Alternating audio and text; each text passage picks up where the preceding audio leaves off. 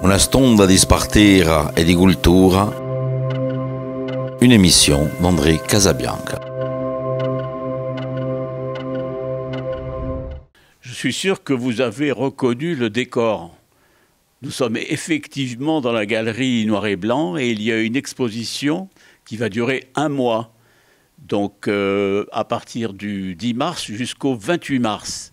Vous allez donc pouvoir euh, regarder, euh, observer les peintures de Sophie Poligny et les photographies de Marc Poligny. Et Marc, c'est bizarre, il est à côté de moi. Donc je vais lui demander parce que Sophie va peut-être arriver en fin d'émission. Voilà, voilà. Bon, alors Marc, c'est embêtant de vous poser une question sur le travail de Sophie, mais comment, comment vous voyez justement ces tableaux? Bonjour, les, tableaux de Sophie, enfin du moins son expression, euh, c'est toujours du paysager. Euh, euh, et la particularité, c'est qu'elle a un style à la fois figuratif et abstrait, avec beaucoup de matière. Et on reconnaît sa touche dans la matière et dans l'harmonie et la douceur de ses couleurs.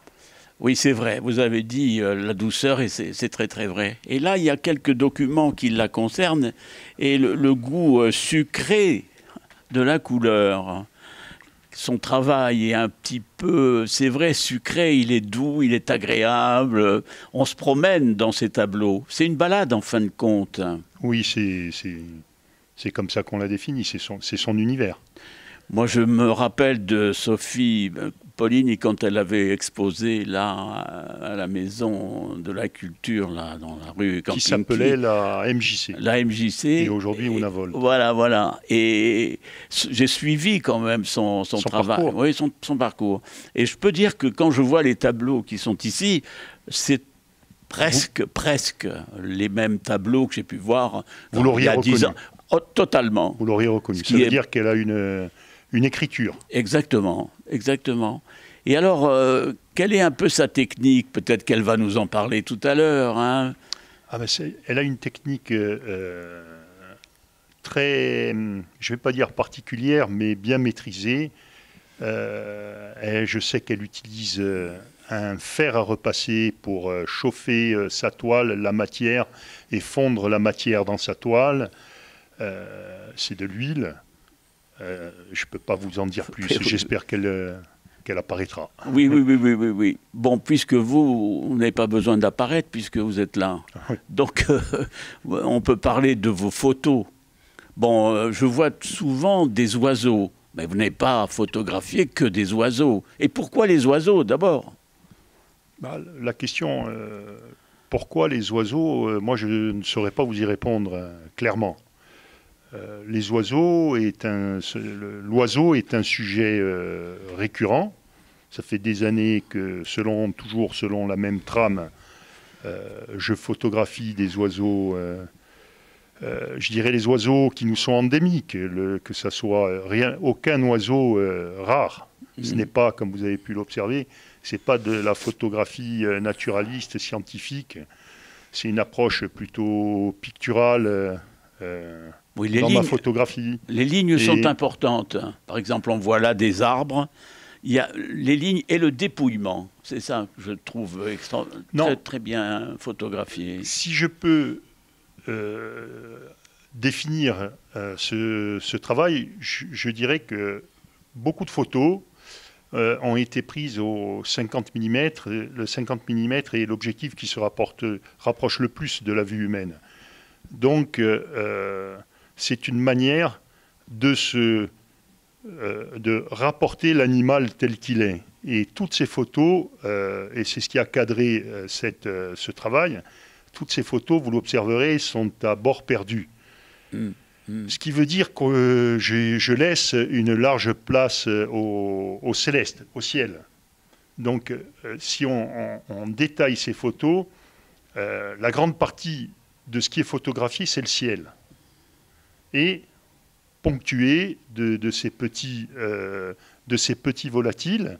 Et en ayant donné la part belle au ciel, c'est une manière de se, de se rapprocher un peu plus des oiseaux, de voir euh, euh, ce qu'ils voient. Alors ils s'inscrivent dans un paysage. Donc vous êtes proche un peu aussi de Sophie quand même. Parce que là, il y, a il y a un espace, il y a un paysage. Comme elle, elle adore les paysages. Oui, Sophie adore les paysages. Euh, en ce qui me concerne, dans la photographie, j'aime le paysage, mais l'humain est revient toujours. Mm. Comme vous le verrez euh, euh, dans la deuxième partie de l'exposition qui est consacrée pour ma part à Islande, île Noire, mm. qui est mon premier travail, euh, mm. je dirais, d'importance, que j'ai à l'époque conçu un peu comme un, un, road, movie, un road movie où j'ai essayé de cadrer l'humain et la part de l'humain euh, dans une nature qui est euh, absolument en Islande euh, omnisciente, vous verrez au travers de, cette hmm. balade. On le feuilletera tout à l'heure, oui. L'humain revient sans cesse. Alors, l'humain, l'Islande, et évidemment, la question est toute simple, c'est-à-dire l'Islande et la Corse. Différence et des comparaisons. L'insularité. Oui, oui. Alors, et comment on photographie cette insularité, c'est-à-dire... Euh, ce qu'il y a de prégnant en Islande, euh, dès qu'on y foule le sol, c'est qu'on ressent vraiment que euh, la nature, est, il y a une forme de, puissance. il semblerait, au regard de certains paysages, assister à la, à la, naissance du monde comme à la fin du monde. Et donc, quelle est la place de, de l'autochtone dans cette nature mm. immense, rude. Euh, qui dit mm. immensité dit souvent liberté, et pourtant, euh, nous, en tant qu'insulaires, euh, on a ce sentiment paradoxal à la fois de liberté et d'enfermement que l'on ressent quand on est tout insulaire. Je pense que c'est le trait d'union de tout insulaire. Et donc, c'est de par ces, ces principaux traits, euh, je, ne voyais pas, euh, je ne voyais pas traiter autrement ce sujet qu'en noir et blanc. Le noir et blanc, euh, en couleur, je n'aurais pas pu aborder ce sujet tel que je l'ai abordé en couleur. Alors justement, ce que je trouve intéressant, c'est le, tirage aussi. Vous avez accentué sur le noir, sur les gris. Il y a, un travail extrêmement soigné. Les couleurs vont du blanc au noir en passant par toutes les palettes mm, mm. de, gris, je dirais. Oui. Mais est-ce que c'est vous-même qui avez choisi d'aller en Islande ou est-ce que, par exemple... Euh, bah, vous savez, un voyage, il commence toujours par, euh, par une idée. Moi, l'idée que je me faisais de l'Islande, avant même qu'Internet existe, c'était euh, ce que je pouvais imaginer au travers de la musique de Björk, notamment Homogénique, son album Homogénique. Et puis, l'Islande, pour les polars islandais, euh, c'est une, terre qui est riche en, écrivains, en poètes. Hum. Oui, oui, oui, oui, Et il se trouve que j'ai suivi un écrivain qui, euh, qui pour qui tous ces romans euh, se situent dans un village bien précis où l'on retrouve pas mal de photos. Là, par exemple, je feuillette votre livre, c'est très abstrait. Là, c'est une merveille, là, carrément. Euh, franchement, Merci. Non, mais c'est vrai, c'est vrai parce que il y a un flou. On, est, on est dans le, dedans le paysage, enfin, à l'intérieur des intérieurs. ben, une photo, quand elle vous procure une émotion, oui. c'est voilà, c'est le, pari est gagné. C'est vrai, c'est vrai. Mais euh, est-ce que vous avez été tenté par la peinture? Non, jamais. Je suis un, ah un piètre dessinateur. Et alors, quand vous, discutez avec Sophie, euh, comment, comment, ça se passe au niveau euh, de son travail, des couleurs, vous-même en tant que photographe Enfin, vous avez dû photographier ses toiles. bon, voilà. Je, vous avoue qu'on a du mal à, discuter. À communiquer. Ah bon Mais on arrive, in fine, toujours à s'entendre. Oui, oui, oui.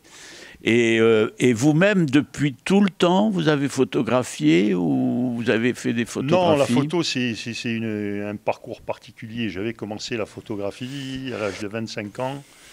Euh, j'étais parti, euh, je vivais en Roumanie et je m'étais équipé d'un reflet d'un argentique Canon et j'avais commencé à faire des photos, des photos euh, social post-soviétique du, du, street, en fait, de la photo de rue à Bucarest.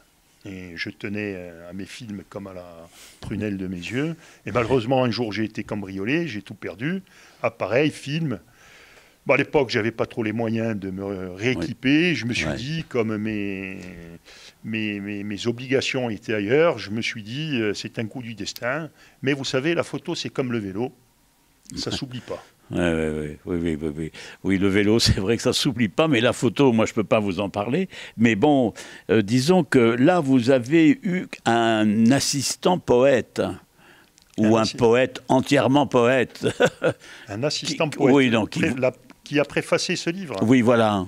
C'est pas un poète, c'est un grand photographe. Ah, d'accord. Bernard Plossu est un très grand, un très grand photographe. Oui, oui, d'accord. Contemporain, euh, français. Euh, photographe euh, inimitable, euh, qui euh, connaît mon, que mon éditeur connaît pour, lui avoir, pour avoir édité certains de, de ses livres.